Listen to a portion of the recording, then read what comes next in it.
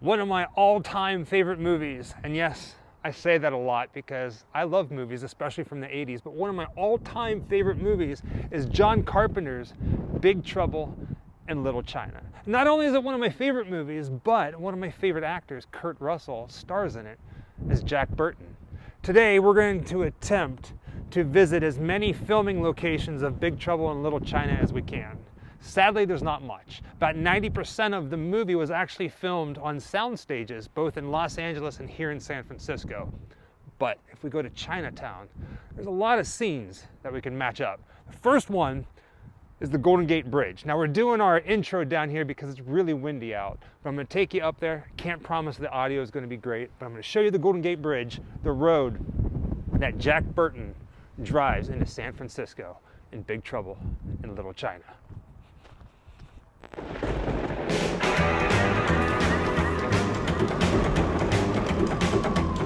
Wherever I come, bad luck is coming my way. Wherever I go, hard luck is there to stay.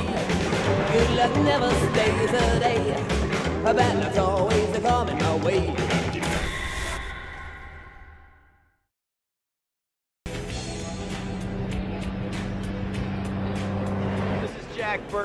Pork Chop Express, and I'm talking to whoever's listening out there. Like I told my last wife, I says, honey, I never drive faster than I can see. Besides that, it's all in the reflexes. The wind is absolutely insane up here at Battery Spencer overlooking the Golden Gate Bridge in San Francisco. Now the opening shots of Big Trouble in Little China are of Jack Burton driving his rig into San Francisco and you see him crossing the Golden Gate Bridge. You can't get a shot like John Carpenter did back in the day because there's the fencing and all that jazz, but this is pretty much it. He drives right across the bridge into San Francisco. Weasley, I'm not saying that I've been everywhere and I've done everything. But I do know it's a pretty amazing planet we live on here. And a man would have to be some kind of fool to think we're all alone in this universe. Right now I'm walking down 20th Street to the overpass over Interstate 280. Now there's a scene where Jack Burton and Wang are driving on the interstate after Wang's girlfriend gets kidnapped from the airport. And they, they show this stretch of them driving down the street, the highway, with both of them in the rig. So we're gonna go to that spot. It's, it's a very quick scene, but it's one of the few that you can actually visit in person. All right, what's going on, Wang? Why'd they steal your girl? Hey, you tell me. How come it's not safe to walk in Central Park, huh? Or give a stranger a lift anymore? Because the world's full of crazy people, Jack. Hoodlums. Now keep in mind, Big Trouble in Little China came out in 1986, so a lot has definitely changed, but this is the highway that Jack Burton and Wang would have been driving on. In fact, Jack Burton would have taken his truck right down through here. I think it was this lane. When you watch the shot, it, it's, it's almost like he's driving right down the middle of that lane right there. But some of the differences since 1986, now keep in mind this is 2021, but that building right there, that's different, that's new. And this whole section over here is all developed. Buildings back in 1986, it was just freeway. You can see the road on the other side of those buildings. And it's still there, it's just, you know, things change. I know in the grand scheme of things, it's just a very small scene, but it still is a scene from Big Trouble in Little China. And even though it's small, there's really not many that you can visit. But this is one of them. The 20th Street Bridge over Interstate 280. All right, on to the next location. This time, we're going to a place that Jessica's been wanting to visit for quite some time, and that's Chinatown.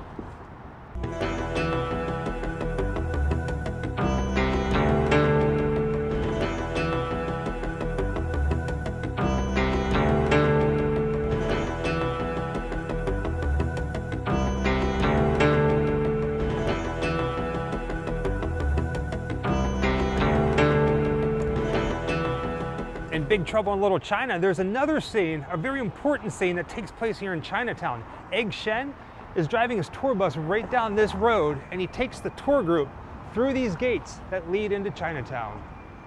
They're still here. Good morning, ladies and gentlemen. I am Mr. Egg Shen with this wonderful tour this morning. Sit back and enjoy yourself. See, long time ago, Chinese men with gold rush fever.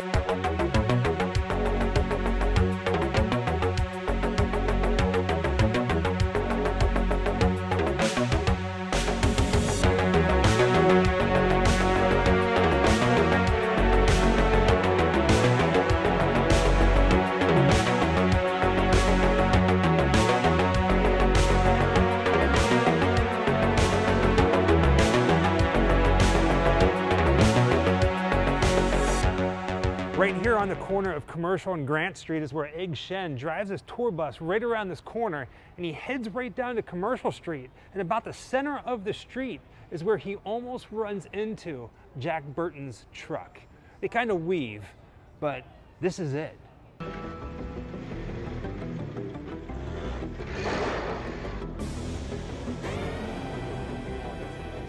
Wait, wait, 你做乜鬼嘢呀？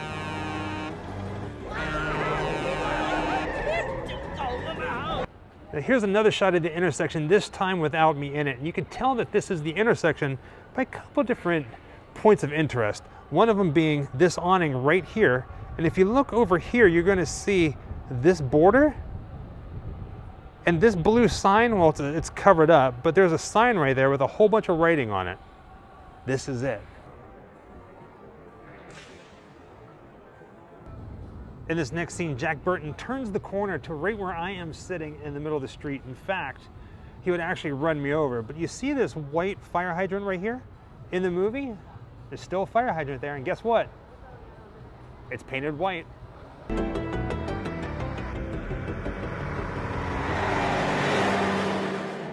Uh, in the movie, Wang and Jack Burton are driving right down this street, kind of like this white van is. And Wang yells to him, Hey, make a right turn, right now. And he does. And in a miraculous feat of movie magic, Jack Burton turns the big rig right here into this alleyway. It's called Ross Alleyway. A lot of people think it's a little bit further down, about a block down, called St. Louis Alley, but it's not. It's actually this one. Ross Alley. And we're gonna line up some things and I'll tell you exactly why this is the right one. In order to line up this alleyway to the movie and match it up, you gotta kind of walk into the alley and look back out. Now in doing so, on the right hand side of your screen, you're gonna see two ledges. There's one there, there's one there. And then over here where Jessica's standing, you're gonna see this little bit of wall. These pipes, that pipe, and at the end of the alleyway, you're gonna see that wall behind Jack Burton's truck. It's a tight fit. I don't know how he did it, but he did it. Go right now!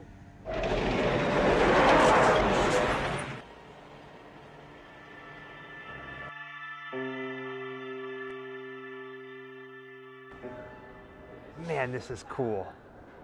Big Trouble in Little China.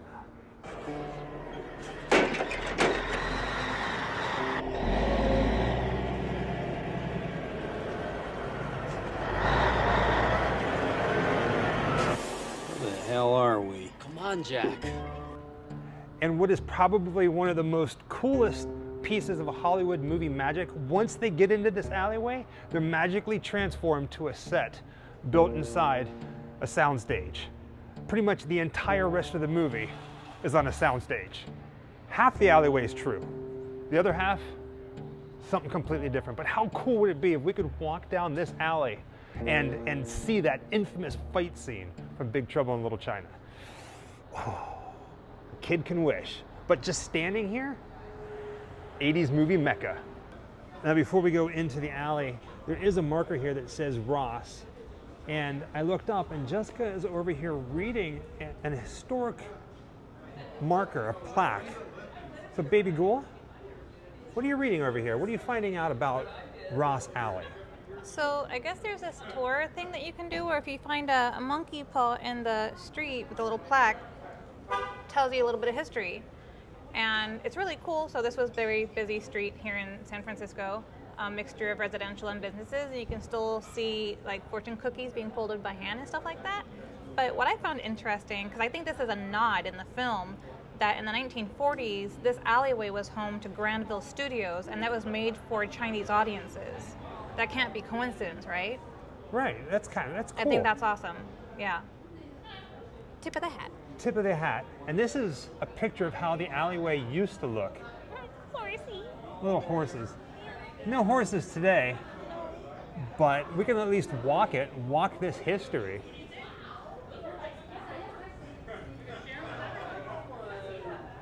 This is cool. When I think of like Chinatown in San Francisco, this is exactly how I feel. I I would picture it, but with like a whole bunch of people here. This is the fortune cookie factory. Oh, Oh, that's cool. That's why I smell. it smells so good. It does. Cool. There's all kinds They're of one little as big as my face. You want to get a big fortune cookie? I couldn't eat all of it. Uh, Nate, that's what I'm here for. Look at these banners and these lanterns. Hello. Oh, everything smells so good. Oh gosh. I love looking up. In case you didn't know this, if you're a fan of the Grimm Life Collective, we love looking up. And this is just gorgeous.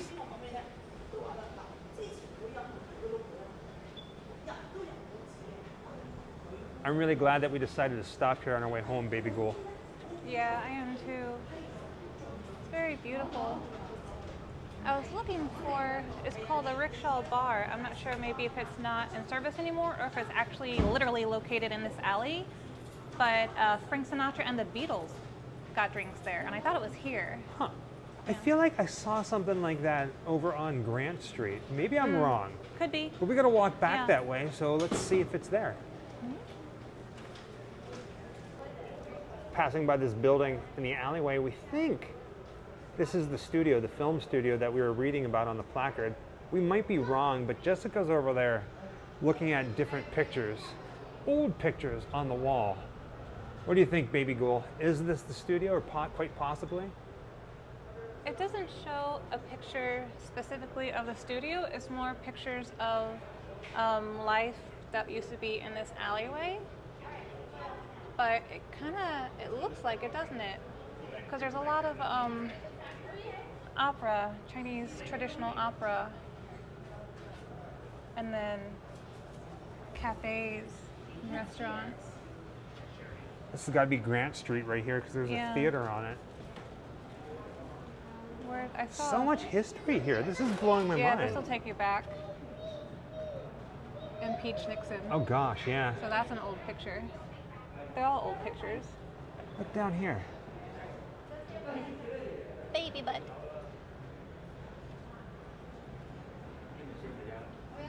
Aw, look how pretty she is. Her Very hair and her dress. Yeah, very, very. And then up here as well. Crazy. Oh wow. Yeah. Now that's something else. I think we should stop in and, and take a look at that fortune cookie place. Okay. All right.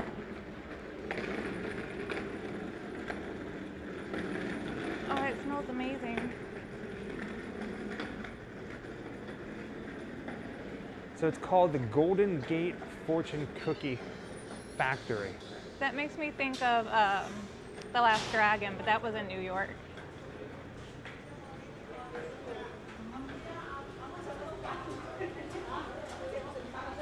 Oh, you can get them before they're folded. Thank you so much. Look, you can So- get one with chocolate. They give us samples? Samples is called a big flat round. Oh man. This is a fortune cookie when it's not folded. Mmm. And it's fresh. It's actually really good. You said they have one here that's as, as big as your head? If so, I think I saw a bag of the short rounds, and I thought it was one big cookie. there's so much yeah. to choose from. I think Jessica found what she wants. So What is this? It's the giant fortune cookie in a box, right? Mm-hmm. Eight dollars. Oh, heckins yeah. Heckins yeah. And these are covered in chocolate, Oh man. chocolate and sprinkles. Chocolate, strawberry, green tea, and regular. Their small ones are called coins. Let's get some. Um, let's get a box of these ones with chocolate in it too. Chocolate? Or do you want to get one that's like, um, well, it's milk chocolate, vanilla, Oh, vanilla. fine chocolate cover? Get the vanilla. I think the regular ones are vanilla. Then get the chocolate. I just want a, a, an edible fortune cookie that's fun. Yeah. Thank you so much. What's really cool, they're making the fortune cookies fresh here. You can you can smell it. It smells so good. Oh yeah, we got the big one. And then so this is the the big fortune cookie in a box, right? Yes. Yeah, so we got one of those and we got some of the flavored ones with chocolate drizzle. And also you can create your own message. Oh, you can. Yeah, you write your own plain cookie for you. Oh, you can make your own messages. Oh, that's like the perfect gift. Yeah, custom made. That's cool. Thank you. You lucky dog. She gave you another one on the way yeah. out. I don't know if it's, um,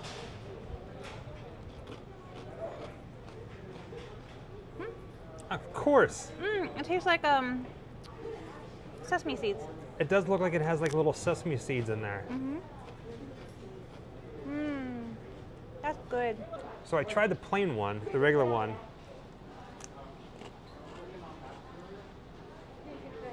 Yeah, that's, that's sesame. That's good. I'm glad we found that place. Oh, that's really good. Ta-da! So look at it. So it, it comes in like a takeout container. Like if you're going to get some fried rice or chow mein or, or something like that. Let's look inside. Oh, it even comes in a bag. All right, so that's cool. Take it out. It is almost as big as your head.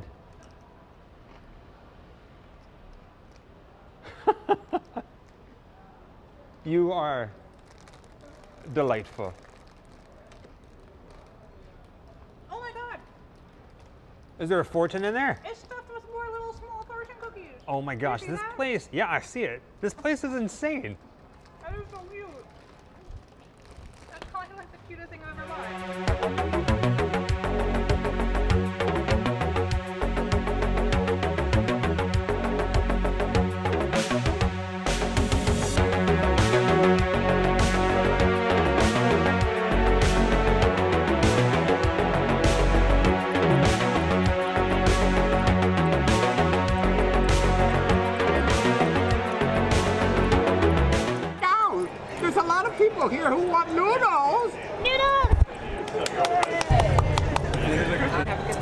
Jessica and Michael. Oh. They, oh, Hi, handsome. they have a great. hello.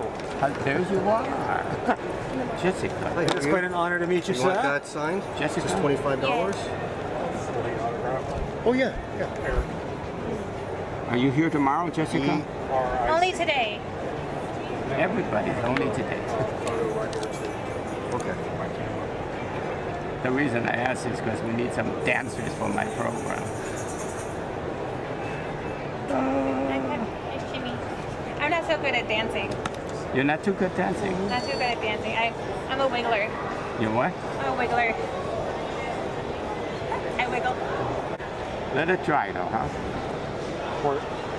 What do you want to say? Could we add to Michael too? Is that okay? What? Could we add to Michael as well? Is that okay? Michael? Yeah. And Michael. Sure now. How's that? Beautiful. Thank you so much. I, I didn't have a chance. Is it okay if I get a photo with you? Yeah, yes, so. Is it Yeah, right? yeah, yeah. And then Alexa wanted to interview uh, you as well. Here's the purple and the black. Okay, tilt your head back so you can see it. Good. I'm doing a picture. Yeah, you hold it because it's blocking the... It does, yeah. Just look up a little bit.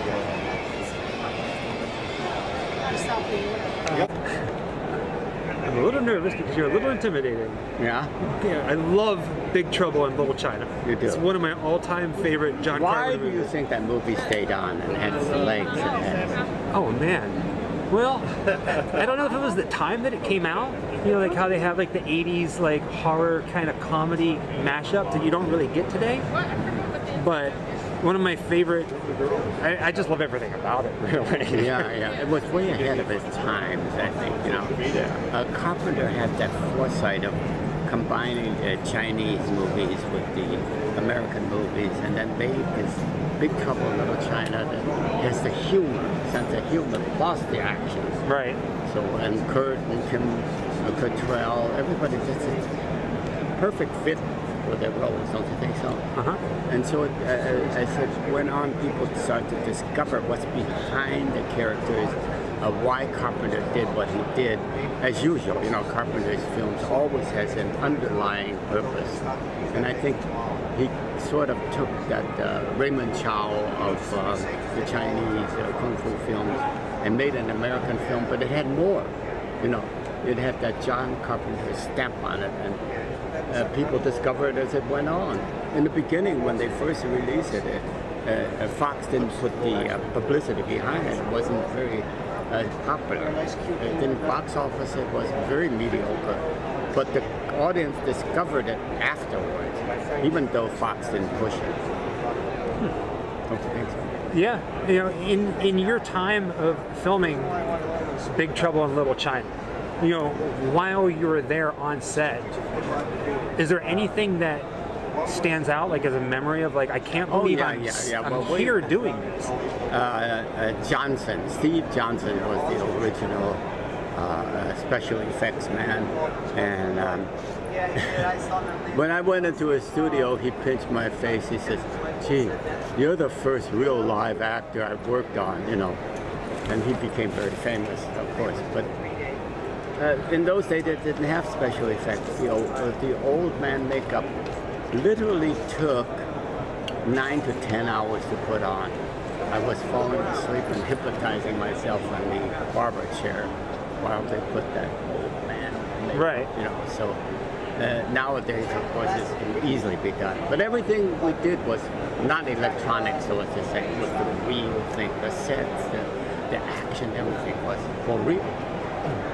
You know, while we were standing in line to meet you to get your autograph and get a picture, which has been a highlight of our Spooky Empire this year, you were saying certain things, like different calls, like I guess from the, the, the film, so to speak. Different, you know, what do you want and this and that. Do you have a, a favorite line from the movie? Well, I think one of them was, uh, "Shut up, Mr. Burton. You're not put on this earth to get it." You know, it's a good line. That's a great line, yeah. Because the stupid uh, uh, Kurt Russell at that point says, "Oh, I didn't get it," you know, it, and then I come back with that line. It points out how silly some things are Right. in the English language. I yeah, I 100% agree with you on that one. it was nice meeting you. yeah. Okay. Nice talking with you. Uh, yes. I call it spooky hands.